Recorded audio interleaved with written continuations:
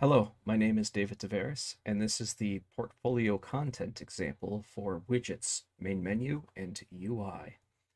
This example is from the twin stick shooter I developed that's now available on Steam called iWoman. Uh, you'll see here is the widget blueprint for the main menu.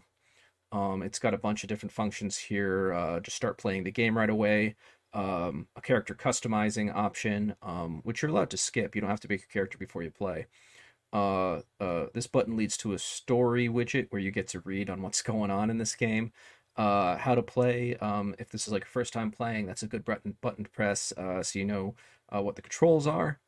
Um, they're intuitive though; it's just left, right, up, down, so it's uh, pretty simple.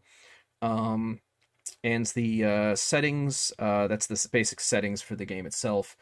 Um, I will go over that in another portfolio entry here because that's a little bit more complex. Uh, credits is also just a list of um, who contributed to this, including all the uh, artists who I bought content from.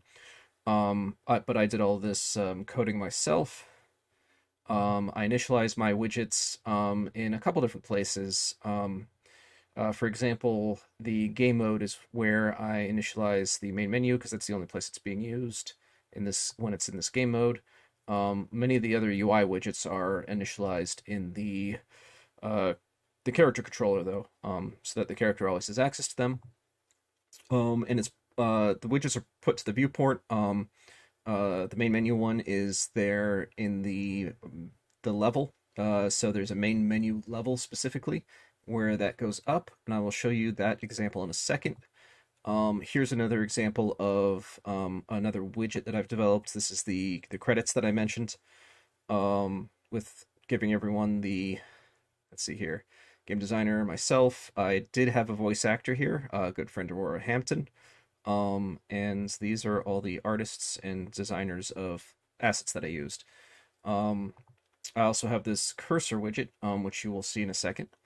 Um, since, uh, and here's the controllers that I mentioned earlier as well.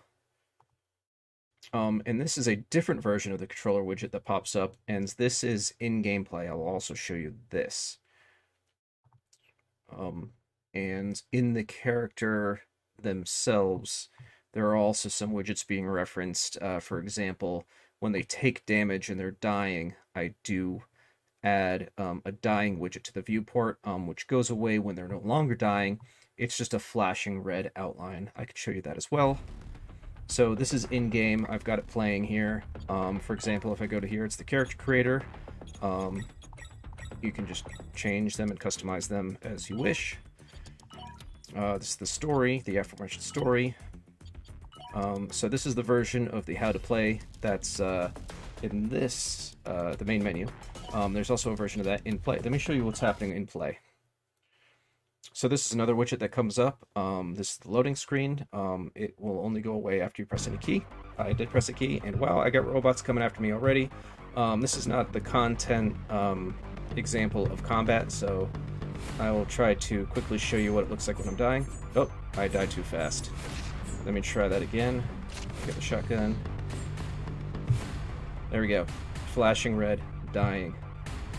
And then if I hit escape, I'll get this widget, uh, which is similar to the main menu widget. Um, and let's go to how to play.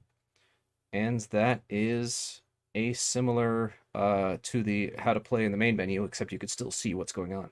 And this concludes my content example for widgets, main menu, and UI. Thank you, and uh, please check out my other content examples.